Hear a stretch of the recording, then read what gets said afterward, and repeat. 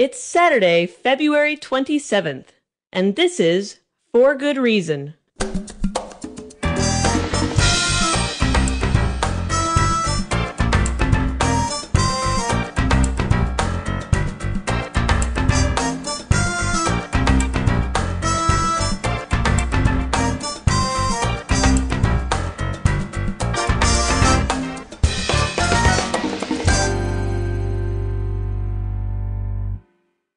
Welcome to For Good Reason. I'm DJ Grothe. For Good Reason is the radio show and the podcast produced in association with the James Randi Educational Foundation, an international nonprofit whose mission is to advance critical thinking about the paranormal, pseudoscience, and the supernatural. I'm happy to have Harriet Hall on the show this week. She's a medical doctor known as the SkepDoc. She's a retired family physician who writes about pseudoscience, about questionable medical practices. During a long career as an Air Force physician, she held various positions from flight surgeon to director of base medical services and did everything from delivering babies to taking control of a B 52. She retired with the rank of colonel. She recently published Women Aren't Supposed to Fly, the memoirs of a female flight surgeon. She's also a regular contributor about medical myths to Oprah's magazine, O. Welcome to For Good Reason, Dr. Harriet Hall. Thank you. Harriet, uh, your book, and maybe we'll talk about it more uh, later in our discussion, is Women Aren't Supposed to Fly The Memoirs of a Female Flight Surgeon. Let's start off. Why don't you tell me how you went from being uh, a female flight surgeon to uh, one of the most prominent uh, skeptic uh, doctors who are speaking out about scientific medicine? Oh, it was it was all quite uh, serendipitous. Uh, I was in the Air Force for 20 years and retired as a full colonel. And for a while after I retired, I didn't do anything. I read a lot about uh, skeptical issues and I went to conferences and things like that. But I didn't actually start doing anything until um, just a few years ago. I, I went to the um, Skeptics Toolbox mm. that CSICOP puts on in Oregon. And I got to know Ray Hyman and Wally Sampson, and in uh, emailing back and forth with them after the conference, uh, Wally Sampson encouraged me to write something for the Scientific Review of Alternative Medicine. mm-hmm. And I'd never written anything in my life, and I said, I don't know how to do that. And he said, try it, and I did, and one thing led to another, and I just kept writing and writing. Wow, and now you have a column on science based medicine on critical thinking for O Magazine. That's uh, one of the largest I guess, uh, mouthpieces of any skeptic that I know, considering its uh, subscription rates. Yes. I don't know anyone else who has such a wide reach to the general public. I mean, in another publication like that. Are you getting positive feedback from that column, or is skepticism kind of controversial to the women, to the people who read that magazine? Well, it, it's not really what I would classify as a skeptical column. Uh, it's uh, it's under tight editorial control. They only allow me 250 words, and they want me to write about common health myths. Oh. Debunk debunking common health myths. Nonetheless, you're able to well do some debunking. So it is skepticism in that sense. Yes, yes. It's not the things that I would particularly choose to write about. Give me some examples of topics you focus on in Oprah or as a yeah, skeptic? in O. One of them was about uh, the myth that eating late at night makes you gain weight more than if you eat other times of day, and um, I'm so glad to hear that's a myth. I'll never be scolded again for my late night snacks. and one of them was about uh, you lose most of your body heat through the head, mm, okay. which actually you you lose body heat uh, proportionally the same from any any part of your skin. Interesting. Okay. Well, Harriet, you're on the show to talk about scientific medicine as opposed to, say, traditional medicine or what they call complementary or alternative medicine. Um, the implication by calling what you're into, what skeptics promote, scientific medicine is that the other stuff is unscientific. Does it follow that it's always bad to be unscientific or um, I, I mean, just not based on Western models of science, that's not necessarily a bad thing, is it? There is only one science. I, I don't like calling it Western science because the scientific method is the same everywhere in the world. and the medicine that's that's not scientific medicine is based on uh, testimonials and on beliefs, and it's not tested or verified. And I think it's it's always wise to put your beliefs to the test and look for evidence. That's the whole basis of, of all of our skepticism. And science, the scientific method has proven itself. It's uh, it's not just that we believe that science works. It's uh, we've uh, we've shown that it's a reliable way of approaching the truth, and probably the only reliable way. Um, it uh, it's the the best method we have to keep from fooling ourselves. Mm. So you would say that when traditional medicine works, if it does, or complementary alternative medicine, any of those interventions, if they work, they're actually just scientific medicine because if they work, they're scientific. Yes, and that's why uh, I and some of my colleagues really object to the term complementary and alternative medicine because there really is no such thing. There's only one one medicine, medicine that's been proven to work. Mm. And as soon as something is tested and proven to work by a scientific method, uh, it's adopted into conventional medical practice and is no longer considered alternative. So the the alternative terminology is really a um, political ideological thing. It's not a, a, a meaningful scientific term. What term do you use for that category of health cures or or interventions that you wouldn't accept as you know working? Well, there is there is a big spectrum. Uh, some of the things that fall under the uh, complementary alternative medicine umbrella are just things that haven't been adequately tested yet, and they might work. So you have to keep an open mind about them. Mm-hmm. Some of the other things are just outright quackery. No, but I guess I'm asking if you don't like the terminology, the term complementary alternative medicine to label that stuff, um, what term would you use? Well, that's what I was getting at. I don't think there is any one term that really covers everything. Oh, I see. And uh, some of us have have called it uh, so-called complementary and alternative medicine. We like that because the right. initials are scam. I love it. A uh, little little cheeky. It's like when James Randi calls believers in the supernatural or the paranormal woo woos. It's a way for us to poke a little fun. Although, if you're trying to have a serious minded scientific engagement with these folks to call their worldview a scam from the get go, it might close doors to that kind of dialogue. If you're looking at all of that and, and you don't want to use one term to label all of it, but you know, we're talking about all what most people would consider complementary or alternative medicine treatments. Is there one or another of them that really gets your hackles up most? Um, you don't treat all of it with the same sense of moral outrage. No, um, I, I guess it depends on on what you're looking at because um, if if you're just looking at what harm they do, they they all can do harm by getting people to to think uh, uncritically and accept things without evidence, and they can all be used instead of life-saving medicines. And so they've been known to kill people in that sense. But um, as, as far as as outrage, I guess the thing that outrages me the most is homeopathy because mm. it's just so totally ridiculous.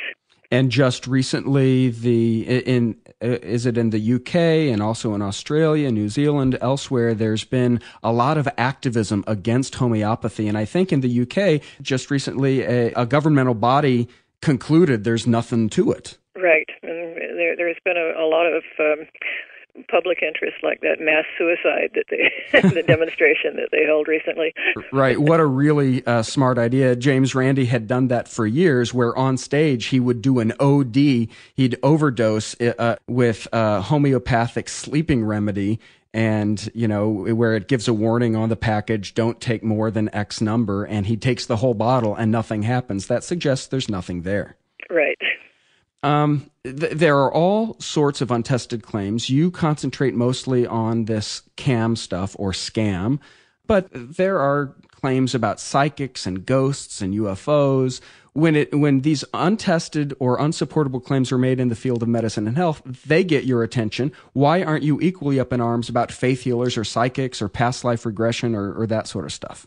I am equally up in arms about them, but I don't write about them because medicine is the field that I know about where I have something to contribute. Well, that seems kind of obvious then. So good, good, good on me for asking such a good question, right? right. Um, but you, uh, th- the point is, uh, you concentrate on it because of your expertise. It's not that you think the other stuff is more trivial. Exactly. Uh, medicine is, is the one place where I feel like I have something special to contribute. Some complementary or alternative medicine interventions work, or at least to some extent, or am I completely wrong about that? Even the National Academies of Health suggest acupuncture as a helpful addition to treatment for cancer patients. Massage, uh, other therapies seem to have positive effects. So you don't throw the baby out with the bathwater. You don't say all of it's a scam. Well, what what do you mean when you say that they work? Because placebos work to some extent, mm. and they actually work even if there's no medically efficacious. They they work for some things. They they work for subjective things like um, pain and nausea and depression, but they don't work objectively for things like curing cancer and broken bones. Mm. What do you think about National Academies of Health commending acupuncture? You think it's just kind of a PR thing, or there's some evidence, or are you like Randi and it just really gets your ire up that they would even suggest something like that? There is some evidence, but it's poor quality evidence. And when you look at, at all of it objectively, um, actually there's a book that that does that uh, snake oil science by r barker Bausell mm-hmm. he's he's looked at uh, at all of the uh, the evidence for acupuncture and he's come to the conclusion that the the evidence is compatible with the hypothesis that acupuncture doesn't work better than a placebo mm. i want to talk about chiropractic you mentioned homeopathy is something that um, that that you think is especially pernicious or possibly harmful chiropractic is in that same fuzzy category. And I think there's some overlap. Some chiropractors engage in homeopathy or do kind of, um, you know, they, they prescribe herbs or uh, other kinds of n- not traditionally pharmaceutical pills, right? Are there, would you say there are good chiropractors, even if there are also probably some quack chiropractors, or are all of them quacks? I guess what I'm asking is would you claim that no chiropractor actually helps treat patients in a measurable medical sense? No, there there are good chiropractors, and if you look on the Chirobase website that's affiliated with QuackWatch, they have a uh, a statement that they ask chiropractors to to sign, and uh, they say, uh, I, "I reject the subluxation myth, and I provide uh, short-term care of musculoskeletal problems, and I don't do any of the quackery stuff. So if if a uh, if a chiropractor follows those principles, fine, uh, because there is evidence that uh, spinal manipulation treatment for low back pain works uh, no not better than any other treatment, but equivalent to other treatment and possibly with uh, quicker relief. But other people besides chiropractors do that. The doctors of osteopathy do mm-hmm. spinal manipulation, physical mm-hmm. therapists do. And if you're if you're using spinal manipulation therapy to treat musculoskeletal pain, that's evidence based. But if you're if you're doing chiropractic manipulations to treat subluxations, that's quackery because there's no such thing as a chiropractic subluxation. There was a paper that just came out recently that, that I wrote up for the Science Based Medicine blog where chiropractors had reviewed all of the evidence um, all of the published evidence for the, the subluxation and had uh, concluded that there wasn't any. Mm, and chiropractic originally was what founded in the theory, almost a spiritualistic theory. It's not it's not naturalistic like scientific medicine, but you know the belief that by adjusting the spine, you're getting your spiritual ener- energies kind of more in order. Yes, they call it innate with a capital I. Uh, that's the, the body's natural wisdom and healing ability.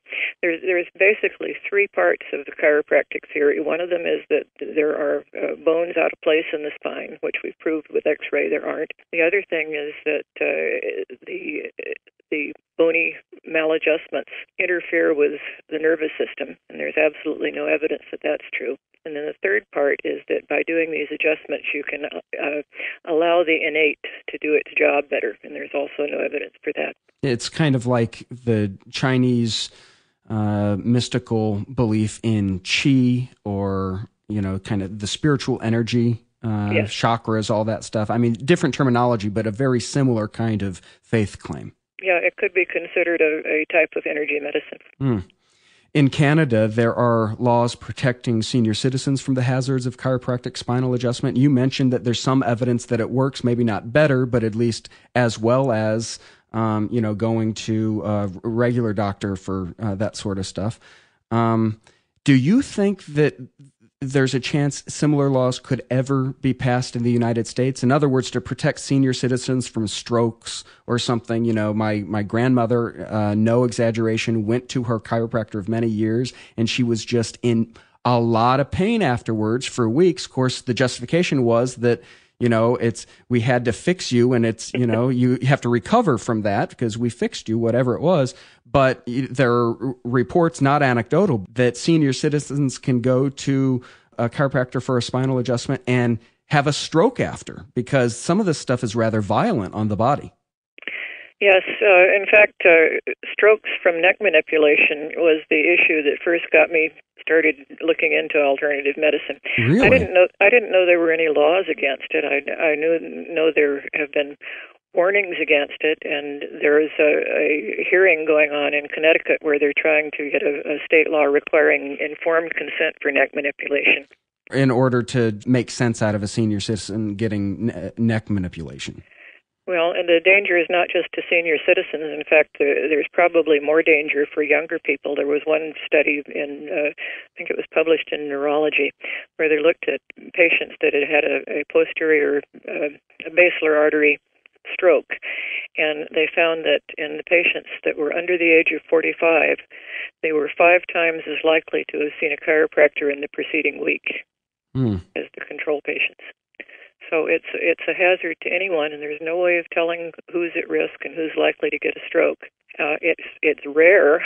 Uh, we don't know how rare it is because the chiropractors aren't keeping any any kind of statistics that would tell us but uh, there is a real danger. And uh, as far as the dangers of alternative medicine, uh, that's the one place where they're actually doing something that can kill people, doing doing something that can directly result in death. So, in that sense, you might say that that's the most dangerous part of CAM. Mm. Harriet, uh, you mentioned the science based medicine blog earlier. Uh, that's really growing to be the online place for people to get their what their fix of skepticism about alternative medicine. That's what we're trying to do, and it's it's serving as a good resource now. People used to write and ask me questions, and I'd try to explain things to them. Now I can just say, go to the science based medicine blog and read this article. Mm as we discussed, you're focused on alternative medicine because that's your expertise, medicine. You and other skeptics don't really seem to focus on the harms of conventional or scientific based medicine. I'm thinking about big pharma, big pharmaceutical companies, and how some of their products over the last few years have been shown to actually harm patients, lead to death. Uh, you know, recent diabetes pill, Avandia or whatever it was, was just reading a couple days ago, you know, uh, damaging the heart. Uh, there, there's a long list of big pharma uh, selling stuff that doesn't pass muster. Why aren't skeptics railing against the big pharmaceutical companies like they rail against these alt med gurus? Well, for one thing, uh, scientific conventional medicine is very good at policing itself. If you read the medical journals, there's there's articles about Avandia, and, and the studies get discussed uh, in great detail. And when we find that something is dangerous, or when we find that something isn't isn't working, it gets dropped from the armamentarium of conventional medicine. There's there's a good self-policing, self-critical system in place, and there's nothing like that in alternative medicine. But also, uh, we do criticize things in conventional medicine. Just recently, I've uh, I wrote an article for Science Based Medicine about the overuse of osteoporosis drugs, and I've written a lot about um, inappropriate screening. I just wrote wrote one about uh, colonoscopy, which is being overhyped way beyond the evidence. You mean people getting more testing than they actually need? It doesn't show that as much testing, as widely tested as people are, is actually helping in outcomes. Well, there is, believe it or not, there is actually no evidence that being screened with colonoscopy uh, reduces the death rate from colon cancer. Wow.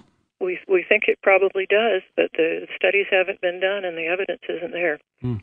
I want to get back to big pharma. These companies, I don't think this is widely known. They actually own most of the lines of the herbal remedies, the alt med supplements. So many of the, uh, you know, many of the alternative medicine crowd, they think there's the good guys out there who are selling the traditional remedies, the herbs, the the supplements, and then there's you, you, know the chemical peddlers you know big pharmaceutical companies. When in fact it's one and the same. It's just that big pharmaceutical companies said hey here's a market. Let's own all the supplements and sell those too because there's a lot of money in it. That's right. There's a huge amount of money in it, and there's not very much overhead because you don't have to do all those scientific studies that you have to do to get a new drug approved. Mm. But the point is, it's big companies selling this stuff. It's not the little guy versus uh, the big company. Yes, right? that's true. Yeah. It's it's it's big business, and big pharma is right in there getting getting its slice. I have uh, friends in upstate New York who are really steeped in alternative medicine, and you know, I I know a fellow who actually has a, a storefront, kind of a shop where you sell where you get herbs and uh, homeopathic remedies and all that.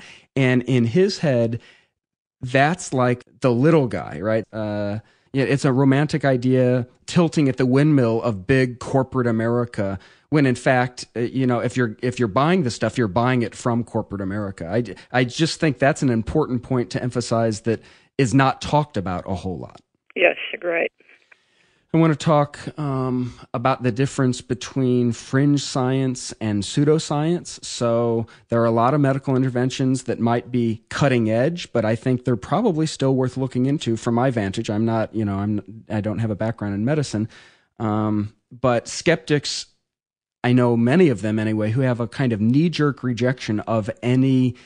Uh, anything that's not consensus science. I, am thinking of some of the radical life extension stuff of Aubrey de Grey or some of the transhumanism stuff. It doesn't, to me, smack of cam or woo woo, um, but still, it isn't yet consensus science because it's so cutting edge. Are you equally alarmed by all of those claims as you are, are by alternative medicine, or do you think some of that stuff's worth being uh, open minded about because it's fringe science, but not pseudoscience? Well, I, I think it might be better characterized as early science. Mm. Uh, you start out with uh, small studies, and then you do more studies to see if you can replicate the original results, and then you compare one thing to another. It's it's a gradual process, and you can never uh, trust the results of one study. It's it's a, a consensus that develops based on all of the published ev- evidence, and it takes time. And I'm not alarmed by people making those claims. What I'm alarmed about is people prematurely rushing into uh, treatment with things that haven't been tested, because uh, experience has shown us that most of the, most claims turn out not to be true. Uh, even drugs that the pharmaceutical companies are working on, when they get get them to the point of uh, of doing human trials on them, only about one out of ten of them pans out. Mm. So the uh, the probability is that most of these new ideas will not pan out, but uh, some of them definitely are uh, are worth pursuing and worth doing more uh, more studies on. But what I object to is when people come out prematurely and say we have proven that this works and start selling products and encouraging people to uh, to take things that really have not been tested. So it's an important question whether or not, say, resveratrol aids in life extension, um, but you would be against uh, people widely popping those pills until more research is done. You don't reject the question as alternative medicine or woo woo, but you wouldn't go as far as some of the transhumanists who say everyone should be, you know, taking these pills in order to, you know, live their 200 years. Uh, yeah, I wrote an article about resveratrol for the Science Based Medicine blog, and there's some interesting evidence in mice and in lab studies and uh, test tube type things, but nobody has done the studies to tell us whether the stuff really benefits uh, the average person in any significant way. You probably feel the same about uh, dramatic calorie restriction to extend life or any of the other possibilities that might be promising. We're just not to the point yet where people should alter their lifestyles to pursue them. I don't think so. The tests haven't been done yet. How optimistic are you about I've called it transhumanism, but you know, I'm talking about, you know, the application of technology to radical life extension or um, to ameliorate kind of natural biological problems we'll all face. Um, you know, I'm, I, I I read the stuff of uh, it sounds like science fiction, but uh, I read some transhumanist stuff, and consequently, transhumanism is one of two topics I'm never allowed to mention at a cocktail party because I end up sounding like I joined a cult. You know, that's how excited I am about it. But my fellow skeptics are like, "Oh my gosh." Well, I'll give you a pass, DJ. That's that's the one area that you're kooky on, but everyone maybe gets one. I, I'm not sure it's kooky to be excited about these prospects. Well, it, it's it's fascinating stuff, but it's it's basically speculation at this point. Are you optimistic that we we will continue to extend life, say, or to oh, the whole host of claims that you could put in the category of transhumanism? Does it uh, excite you at all, or are you kind of an open-minded skeptic, but you're tabling it for now until more research is out?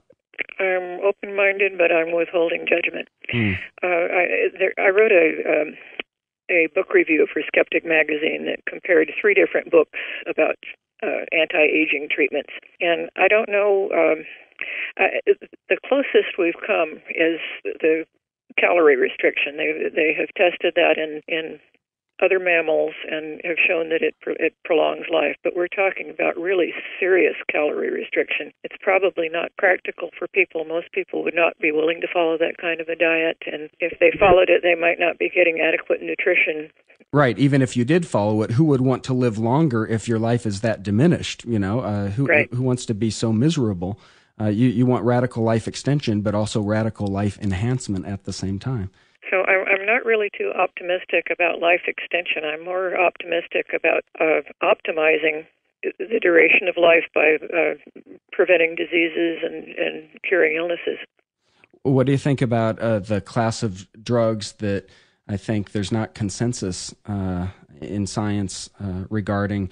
Uh, it, the class of drugs called nootropics or whatever, you know, cognitive enhancers, um, uh, where you're you don't pop a pill to change your personality. You pop a pill to make you smarter or have better concentration or better memory or something like that. You you think that's is, does that stuff hold water or is it still the stuff of science fiction? I'm skeptical. Mm, okay. Well i won't tell you about all the cognitive enhancers i take. Just joking just joking. I don't take them. Um, if a listener, and we, we, could, I guess, finish up uh, uh, with this, Harriet, if someone listening is skeptical, but also wants to benefit from the best medical treatments out there and doesn't want to be closed minded, doesn't want to reject anything out of hand, what's your prescription for them? Is it just a matter of kind of doing what their doctor says or doing what consensus science says? Uh, the I guess my concern with that is that there are a lot of doctors who are pretty pro alternative medicine these days. Yes. Um, there, there are doctors who uh, prescribe a lot of belief-based things instead of just evidence-based things. The the best I, advice I could uh, give a, a skeptical layman is ask for the evidence. If if your doctor says uh, resveratrol is something you should take, ask him what studies he's going on and look at the details and find out if he's really basing it on evidence or if he's just basing it on well, I think it helped some of my patients and I think it sounds like a good idea. And also, there's a couple of, of really good resources on the web now. One is quackwatch.org and the other is sciencebasedmedicine.org. And if you're wondering about any specific treatment, well, one of the first things I'd recommend is looking at those two websites to see what you can find there. Uh, it sounds like you have a lot of faith in the educated consumer of healthcare. So it's it's not enough to go on just what your doctor says. You think people could actually look at published studies and do the research, and that's not too much to ask someone who who wants a treatment.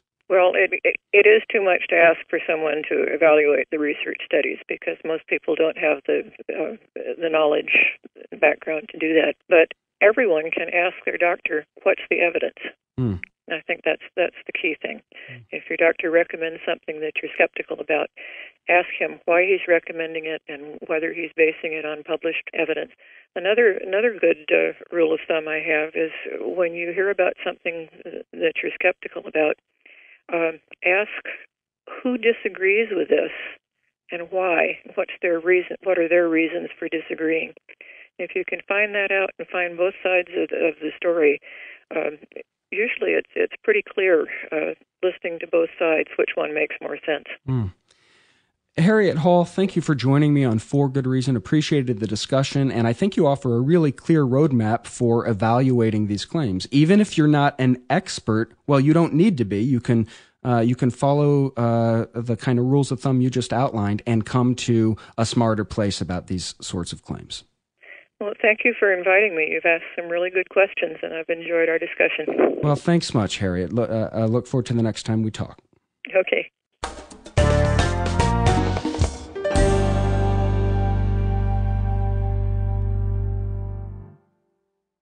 And now the honest liar talks about his hobby, collecting pseudosciences. Here's Jamie Ian Swiss.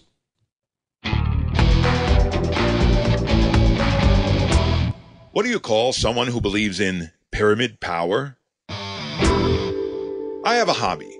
I'm a collector. I collect pseudosciences. First, some definitions.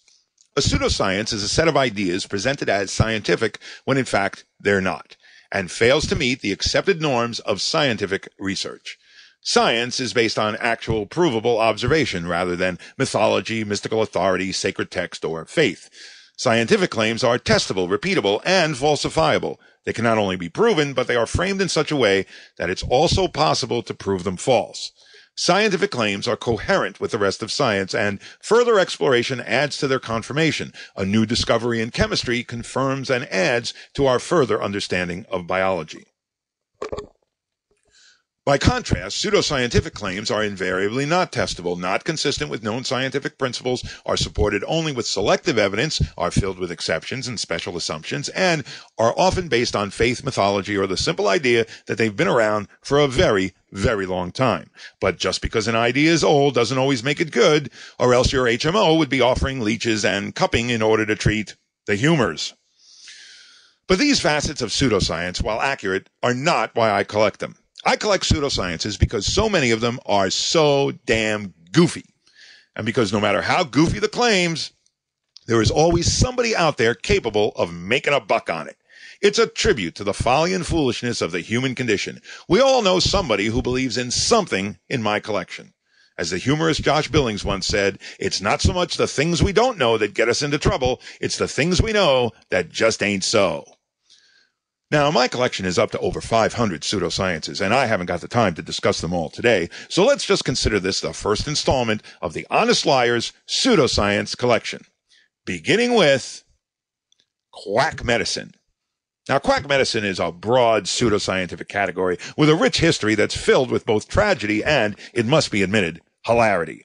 We'll talk about some of both in another episode, but for the moment, what I really want to point out is that there's also a subset of medical quackery that applies to veterinary medicine. That is to say, crackpot medicine for pets.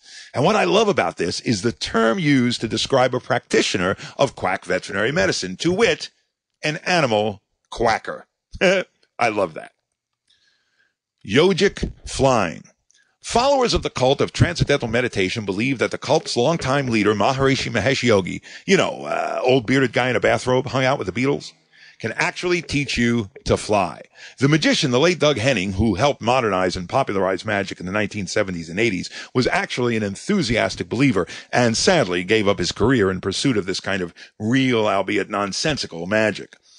Well, many years ago, James Randi and I, along with our skeptic friend and colleague Chip Denman, went to observe a day of TMers taking part in what they called the Yogic Flying Olympics in Washington, D.C. This consisted of people sitting on mattresses with their legs crossed and bouncing. They called it flying. We called it bouncing.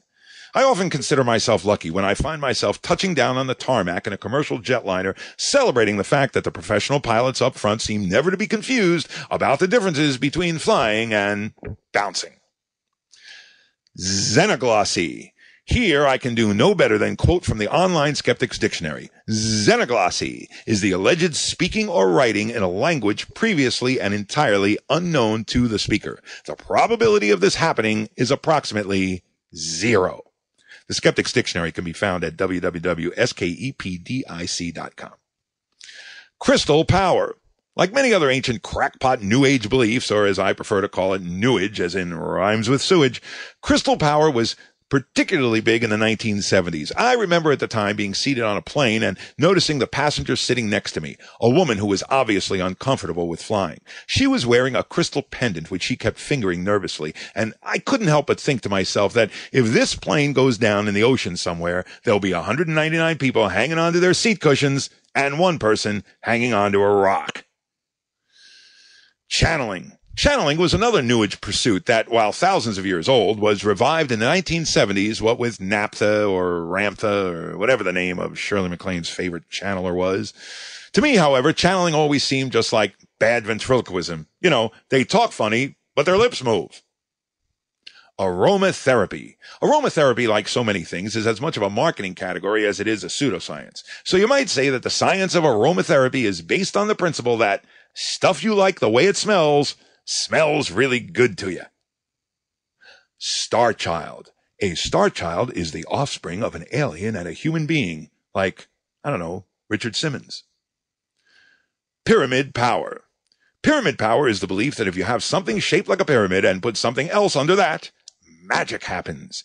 Razor blades sharpen, dead plants come back to life, uh, cell phones get better reception. I don't know. So, there is your first set of entries in the Honest Liars collection of pseudosciences. Score yourself zero for each one you got right because each and every one of them is worth absolutely nothing. And oh, what do you call a believer in pyramid power? A pyramidiot. This is Jamie Ian Swiss, and I am the Honest Liar.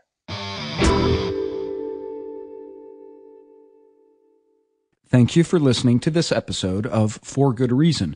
To get involved with an online conversation about today's show, join the discussion at forgoodreason.org. Views expressed on this show aren't necessarily the views of the James Randi Educational Foundation. Questions and comments on today's show can be sent to info at forgoodreason.org.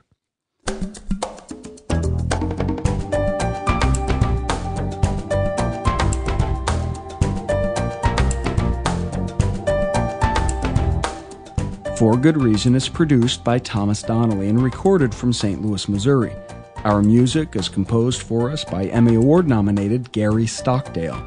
Contributors to today's show included Jamie Ian Swiss and Christina Stevens. I'm your host, DJ Grothe.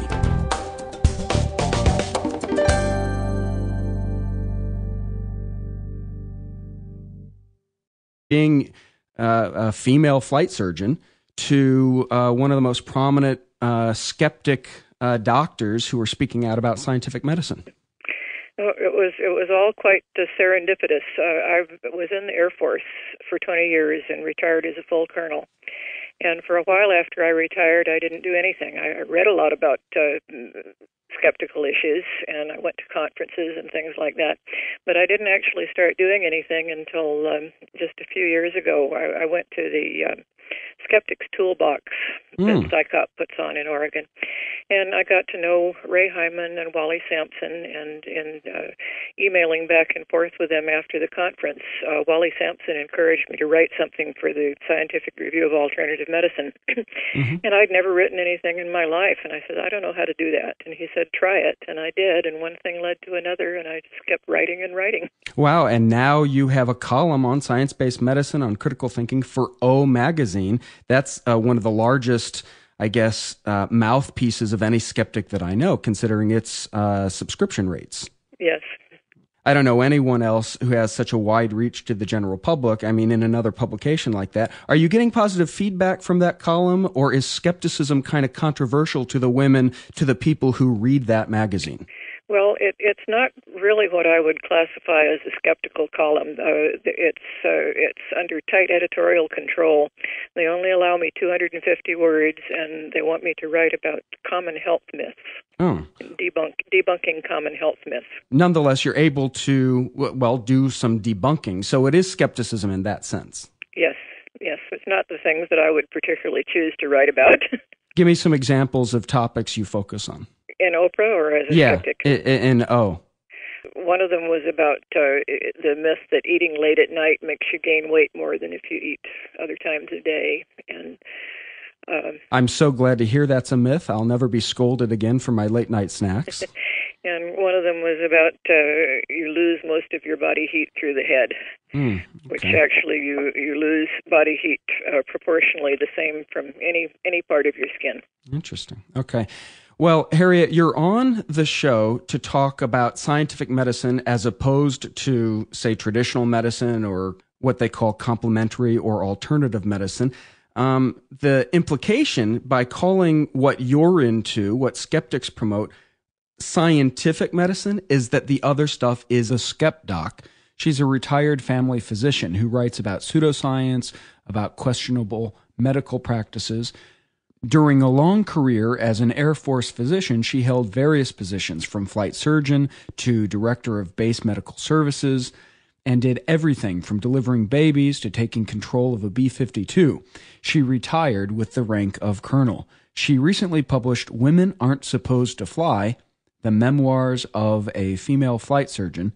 She's also a regular contributor about medical myths to Oprah's magazine, Oh. Welcome to For Good Reason, Dr. Harriet Hall. Thank you.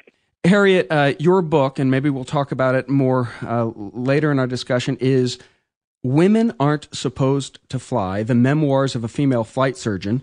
Let's start off. Why don't you tell me how you went from being. It's Saturday, February 27th, and this is For Good Reason.